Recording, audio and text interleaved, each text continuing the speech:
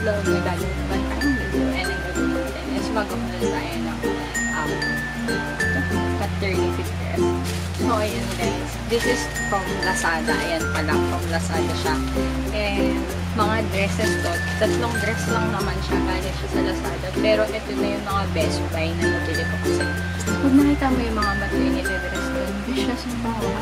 Nasa 800, 900, 1,000. Parang, ano, kung hindi mo na ako bumili. Kasi before, akala ko babalik ako sa office. Eh, hindi naman ganun kalala yung nangyayari ngayon.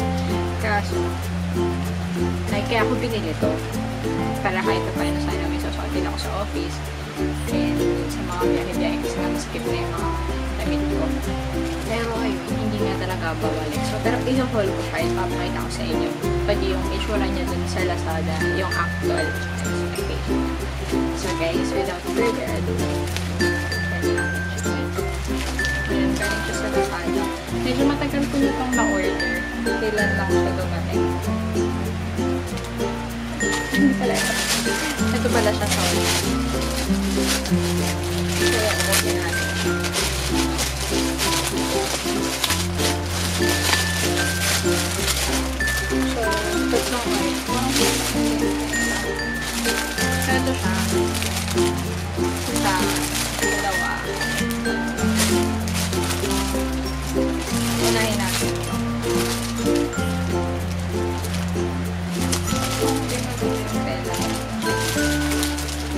So, ilalagay ko na lang yung price dito.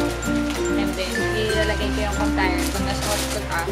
And then, yung size niya, saka yung nandun sa picture. Expectation versus reality.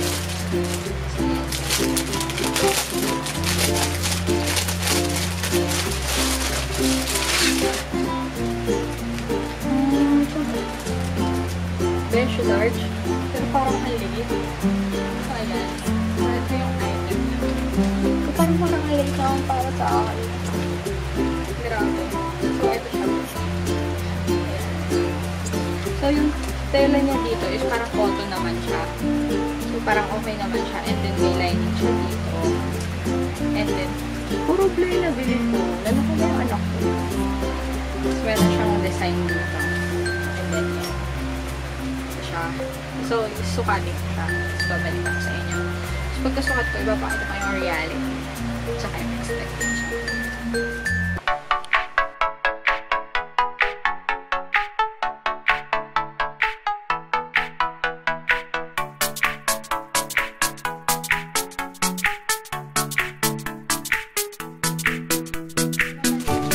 Hindi ko na ito maalala. Tagal ko na na-order. So, ito parang yung tela niya parang may parang labor cloth. Pero paano hindi siya mainit. May tela din siya. Yung parang sa binyan. Kung pupunakay ng binyan dun sa telahan. So, guys.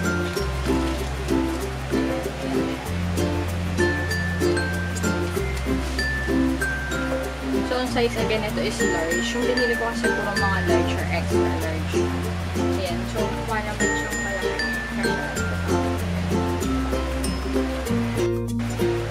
So, ayan. Naubos yung memory. So, ito na siya. So, ito try din natin ito mamaya. Para makita natin kung mainit ito. Kasi parang medyo mainit yung tela. Pero siguro kung nasa airport naman, hindi naman siya ganun karamdam.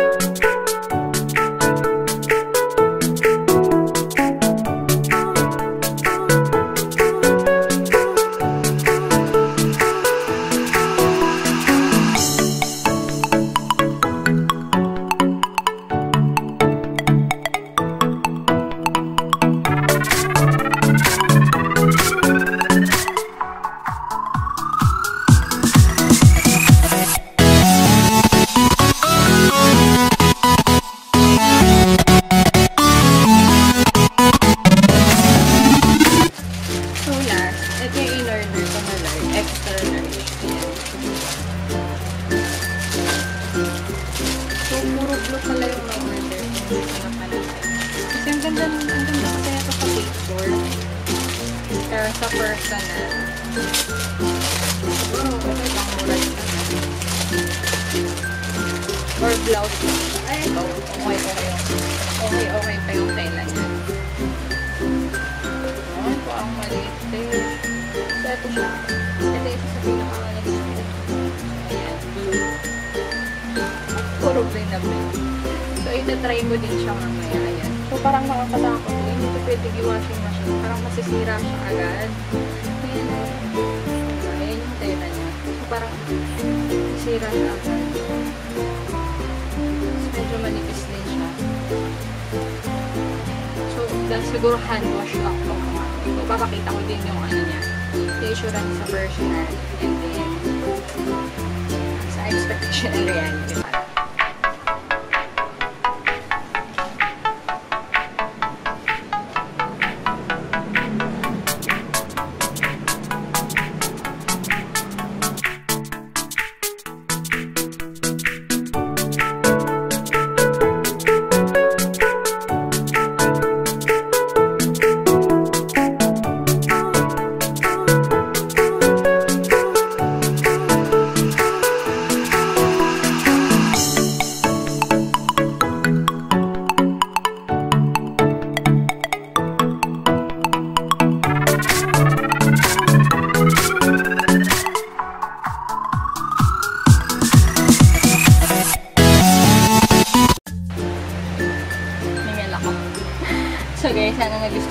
Video natin. Medyo konti lang yung dress, 3 pieces lang siya. Pero yun yung mga dresses sa Lazada, maternity dresses sa Lazada below 600 pesos. Kasi isa 585 pesos, isa na pa 300 lang.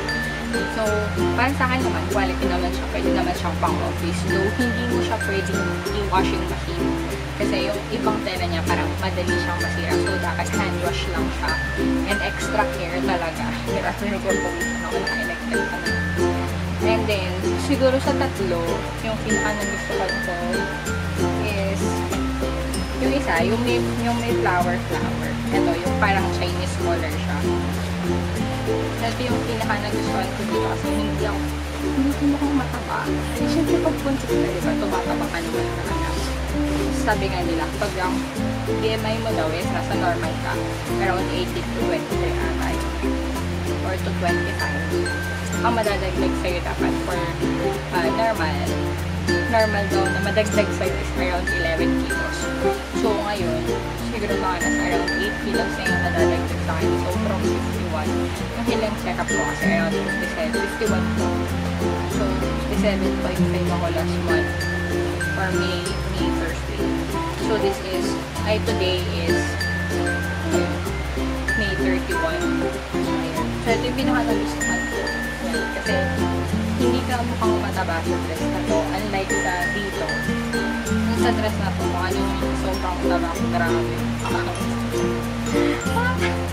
yung isa naman, okay naman. So, ayun guys. Sana nagustuhan yung try-on haul na to. Medyo onti lang siya. Kasi,